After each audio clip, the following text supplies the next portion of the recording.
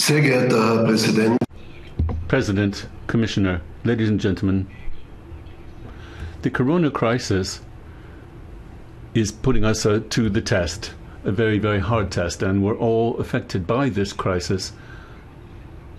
More than 3,500 uh, were infected in the Tyrolean region, and many, of course, uh, uh businesses uh, had to be shut down.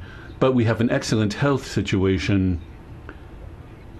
17 infected now this week. We now have an economic crisis to cope with. I think there is a need that we see it as an opportunity resulting from this crisis, and the political speech and reaction is particularly important. When I think about uh, how products are stored on our, our, continent, and I recall the kinds of problems that, that we had, for example, when it comes to uh, implementing this, and when it comes uh, to uh, uh, getting uh, this delocalized production.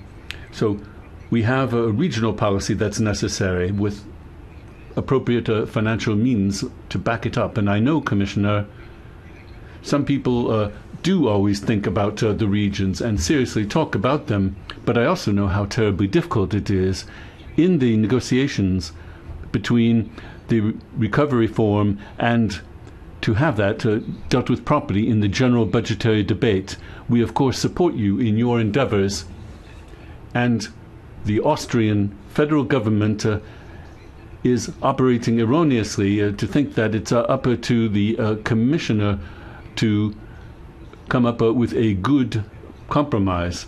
What we need is a consensus, uh, and we need it quick.